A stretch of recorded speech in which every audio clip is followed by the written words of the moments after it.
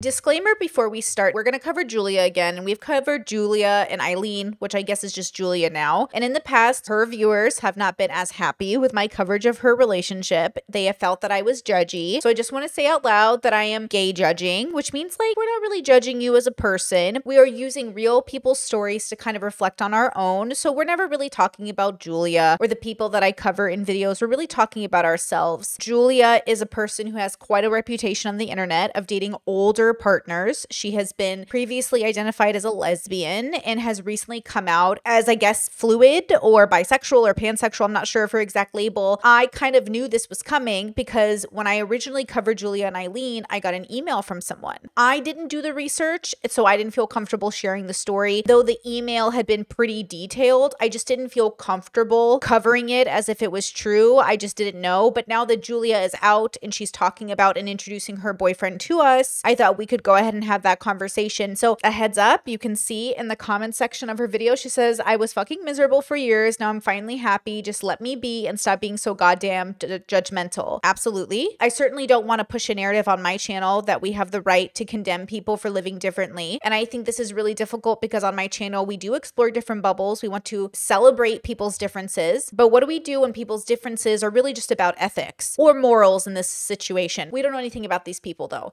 So maybe it's perfectly fine maybe it's not fine we're really we're really not judging julia we're really judging what we're seeing which you know as a YouTuber is always partially the truth. It's never the full truth, right? Just YouTuber to YouTuber, I know how difficult it is to have people tear apart your life. Oh, okay, let's go ahead and uh, meet her new man. Hi, sweeties. Welcome back to the channel. oh my god, I can't believe I'm filming this. This is gonna be the most special video ever because I am here with the most special person ever. Uh, I would like to introduce you to my wonderful boyfriend, Keith. Hello. so today I am gonna be asking him some of the questions you sent us. I'm sort of like interviewing him for your benefit, but I, I know the answers. I hope. Now, one criticism I've had of Julia, again, as maybe a content creator more than a consciousness, is that she does sort of have too much of a parasocial relationship, in my opinion, with her audience. And I think that she lets the audience way too much into her life. To be fair, though, her best performing videos tend to be about her life. Some people have even accused Julia in the past as queer baiting. Now, look, I just think Julia's probably a sexually fluid person.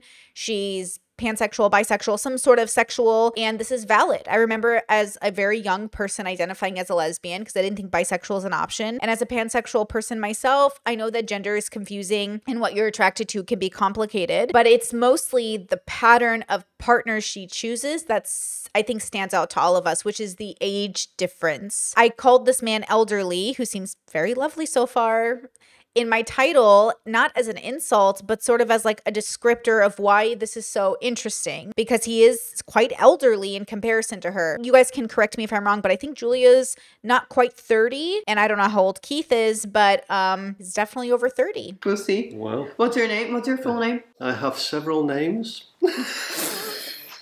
Alright, so before we start, please subscribe and activate the notifications. So you post videos, follow TikTok for daily and give a thumbs up because it really helps the channel. Is that what I sound like? what do you guys think so far? I mean, obviously the accusations that Julia gets is that she's a gold digger, but then after her and Eileen divorced, it was it came out that Eileen was the one who was really bad with money and that Julia was kind of funding their life, which is interesting. So obviously the number one question people have been asking is what's your name? My name's Keith Wood. Beautiful name. Very simple.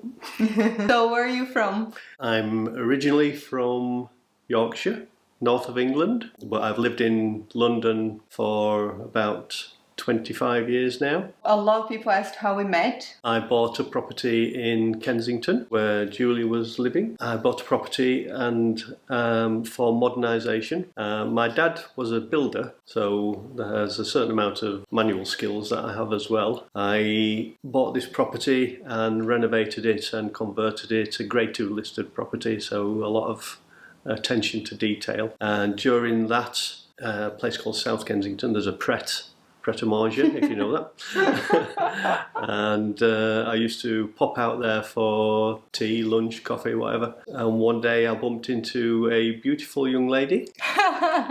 we just started chatting, funnily enough, about Chelsea Football Club. I have season tickets. I've always followed Chelsea Football Club. So he's got money, season tickets. That's interesting. They met casually. That's also not surprising. I'm going to say, like, I have pretty neutral vibes so far from the both of them. Uh, that started the conversation. We met a couple of times for coffee there. We then went to um, football matches. I've, I've, I say, I have season tickets there, so I went to some football matches and became good friends, and things moved on from there. Ah. Ah.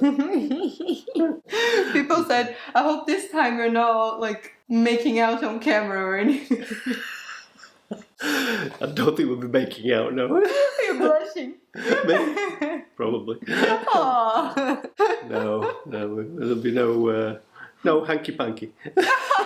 People also asked if Keith has any children. Yes, I do. I have two children, a boy and a girl. They are grown up, very proud of them. They still live in Yorkshire. Okay, so Maven says, I feel like she's exploiting old people. This is how I felt with Julia. I've never been into Julia's content. Just as a queer person myself, I've never found myself drawn to her content. It just feels so exploitative and it feels so sen- like sensationalizing your life. And I'm not a big fan of people who sensationalize their life. I burn out watching people do this to themselves. And it's not that, you know, she's a young person taking advantage of old people or old people taking advantage of young people. It just feels like a type of relationship that tends to occur in certain categories of people that I would categorize as like a settling kind of relationship where it's convenient, it's accessible, they're both giving it sort of like an exchange that's specific. Like, I doubt this is the love of her life, but also, to be fair, it doesn't have to be. She's allowed to have sort of relationships that are less about that. So, what I think is more interesting is the fact that she shares his full name. They talk about his life, that they're on camera together. Look, maybe it's, I'm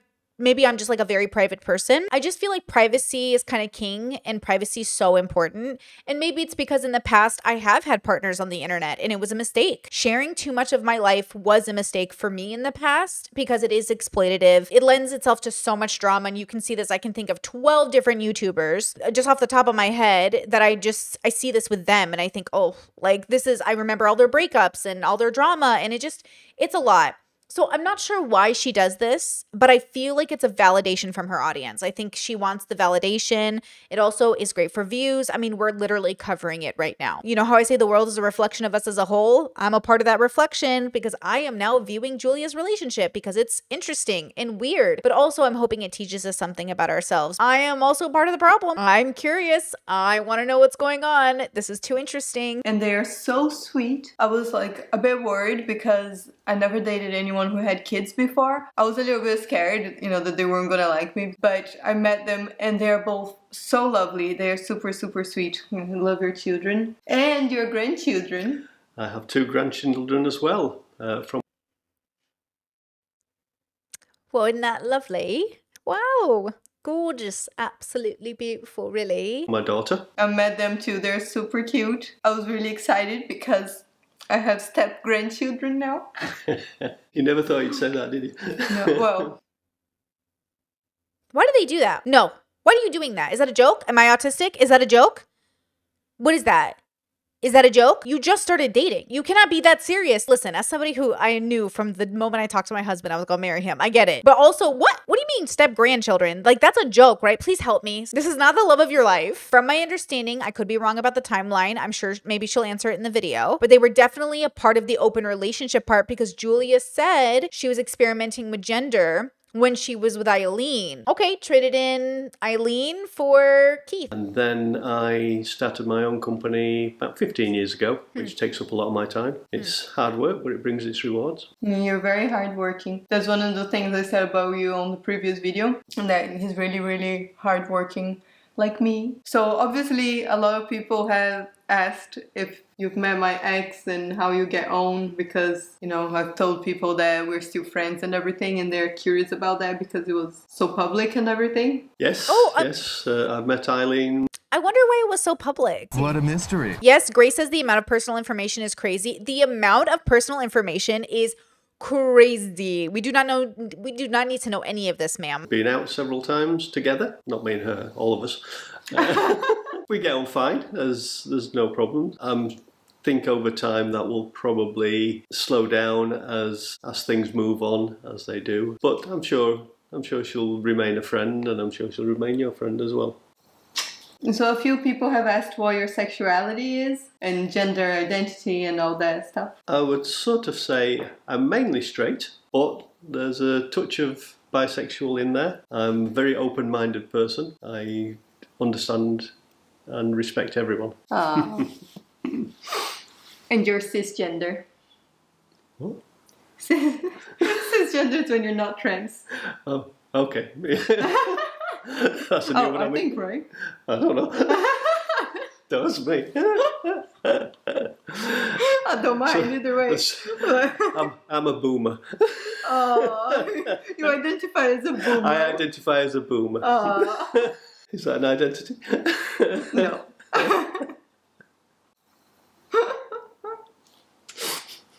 You're cute. ah, you're Ah. cute. Okay, that's the most important one. What's your star sign? Unfortunately, I don't know what his rising sign is. No, I don't. Yeah, because Keith doesn't know what time he was born, because, like, the exact time, because he was born at home. Most people were of my age, born at home. And unfortunately, my parents have now gone, so I can't ask them. I'm going to be really adult right now. These are two grown ups. They can do whatever they want. But regardless, I guarantee you the reason the divorce rate is the way it is and everyone is so unhappy and there's a loneliness epidemic is because y'all keep settling. And if this isn't settling, I don't know what it is. There is no cohesiveness. The energy is casual. It's too casual. It's a great sugar baby situation, age gap relationship, confiding in one another, seeking warmth in one another but I just don't understand this or recognize this as like what I would call a lifelong relationship. But it doesn't mean that it's invalid in terms of something casual. Like if we viewed this from a casual lens, like good for them. I hope they're happy. But if you try to judge it from like a longevity perspective, well, there's probably a lot of problems here. And again, you know, uh, it is what it is. I don't think there's necessarily anything unethical happening here. But I think that if they were more introspective, I'm not sure that this situation would occur in the way that it is happening. Like if this was my friend, I'd be like, what's going on? So what are we like doing with our life? Not because he's bad or she's a bad person, just because I think that this relationship feels like settling and you have the right to settle. I've talked to my friends about this. Like, so are we settling? What's happening? And they're like, yeah, I think I'm ready just to settle with somebody who isn't exactly my person, but you know, I'm happy. And I'm like, okay. I mean, that's a decision. People can do that. I don't want to be too judgmental of Julia because I know everybody is, but it's probably just because we're concerned about the pattern of behavior that we've seen from her over the years, which is pretty parasocial of us. So I also don't want to be inappropriate and think of it that way. Anytime I see an age gap relationship where the younger person is younger, it just it makes me feel concerned, but it's none of my business at the same time, right? Discord says I found the video she did right before. This one is more interesting where she explains her current relationship with him is responding to those concerns. Ooh, okay, we'll watch that after. I think it's great. I'm, I think I'm a very lucky man. Um, Aw. I am. uh, no, I, Yeah. I'm a very lucky man. It means a lot to me, you filming a video with me. I know it's like a bit of a weird thing to do, but I really appreciate it. well, it doesn't bother me particularly. Like I say, I'm nothing to hide, and uh, but I do think that I'm probably not the most interesting person in the world to. yes, you to be- are! Yes, you are! She talks to all of her partners like they're stupid, and I don't like it. That's what I've never appreciated either. She talks to all of her partners like they're babies and they're stupid. And I don't like it. I don't like it when the older partner does it. I don't like it when the younger partner does it. And look, I don't mean to be judgmental. I really don't. I am gay judging sis. It's Pride Month. But I do not like the way like she infantilizes and uses baby tones with her partners. But to be fair, I think her partners kind of like it. You know how age gap relationships, it's usually the younger person being mentored by the older person? I actually think Julia has a pattern of the reverse, choosing older people who want to bottom from the top. Like Julia kind of tops from the bottom, and her partners, though the mature and quote, quote, like breadwinners, even though that's not the case with Eileen, like they want to be taken care of by Julia. Like Julia, yeah, like I think their dynamic is the reverse of the traditional age gap relationship. I think she wants to be a princess and wants to be taken care of, but then emotionally she switches and take takes care of her elderly partners, which is very interesting. I think they're probably far more interesting people than me. No, no way. Nobody is. By the way, if anybody wants to follow Keith on Instagram, he's starting his own his own social media presence. Oh, cringe.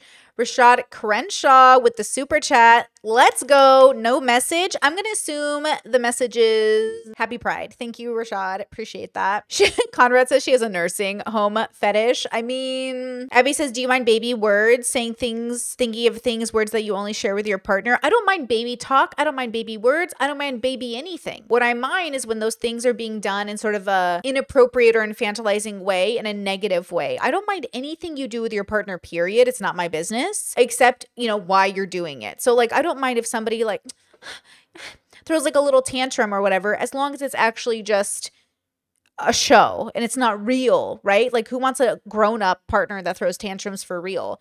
It's one thing to act it out because it's cute, and another thing to be serious about throwing a tantrum. So, in this case, is she infantilizing her partner because it's performative, or she infantilizing her partner because she literally is like, oh, you're such a sweet, dumb baby? Because a lot of the reverse age gap relationships are, let's say, the older men and younger girls or younger boys. The way that it works is they'll say, like, oh, isn't that so cute? They're figuring out life, and they'll infantilize them in the other way, where it's like, look, they're learning how to pay bills. And it's kind of gross. It's like, why are you talking about your partner that way? And that's why I say a lot of settling relationships, especially age gap relationships, it's really just a matter of convenience. You're both lonely and you need something from one another. So it becomes sort of a transactional relationship. It is what it is. It's none of my business. But it's not my favorite form of relationship. When you're healthy, you don't choose it. So to choose it is kind of an indication of something. Now, with that said, some versions of successful age gap relationships exist within culture. So culture will change things. If you're both exactly on the same page from the same culture, example, let's say from the same village, you know, growing up with a Middle Eastern background myself, that could make age gap relationships more accessible and reasonable. But usually when you're coming from two different bubbles and you're meshing together, it's usually a loneliness within inside of yourself that you're filling with this sort of um, relationship dynamic, in my opinion, relationship dynamic in my opinion. You don't have to listen to me. I might not know anything. But as a person who was once younger, who dated older people, and even as a person who tried to date younger and never quite felt like peers. But again, Julia's basically 30. So at this point, it's none of my business. I kind of feel like after 30, it's none of my business who you date, you know, at all. Not that it's any of my business at all, but you know what I mean. So she's like 29, 30, I think, in the next 12 months. So she's a grown up. I just think it's interesting that she has a pattern. He's soon gonna be a social media star. Don't think so. you will, you will. But follow him on Instagram. I think older people want to feel young, and so they date young people. I think he likes this. I think Eileen liked it. It is what it is. If you want to, it's entirely up to you. If you want to see some of my old historical pictures, you're quite welcome to. Just be nice. Be nice. Keith.e.wood is my Instagram. I think we covered a lot of the questions, but if you have any more questions, anything you would like to know about Keith or about us, our relationship, just let me know in the comments. If you have any video suggestions or anything like that too, let us know in the comments. Aiden says she likes older people because she knows exactly how to rub their egos to get them to do exactly what she wants them to do. It does feel like that. And I look, I don't know these people, so I could be so wrong about it. But I often do. Sometimes when I have um like I see people in relationships with much younger people, I'm like, are you the one manipulating them or are they manipulating you?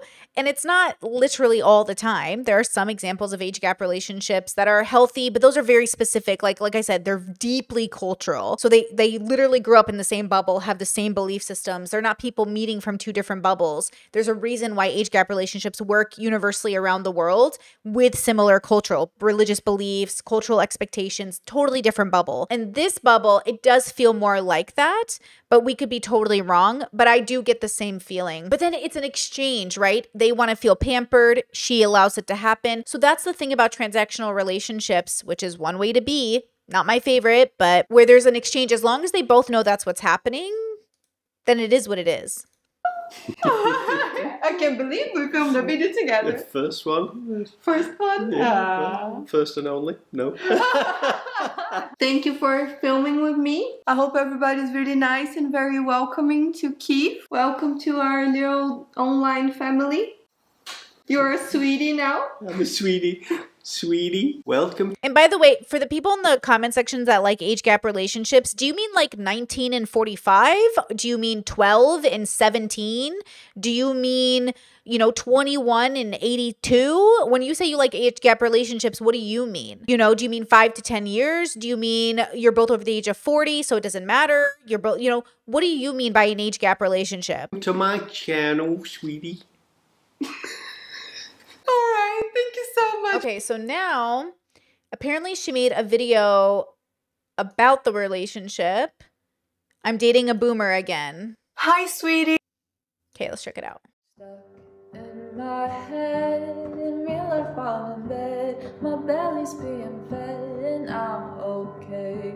I'm just fine, yet all I do is whine. Not to you in my mind, cause I know I don't make sense. I've been nothing but blessed. So why's my life a mess? Please tell me, cause I'm sick of thinking.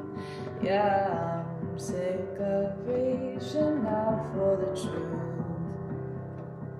and living life as a fool. Done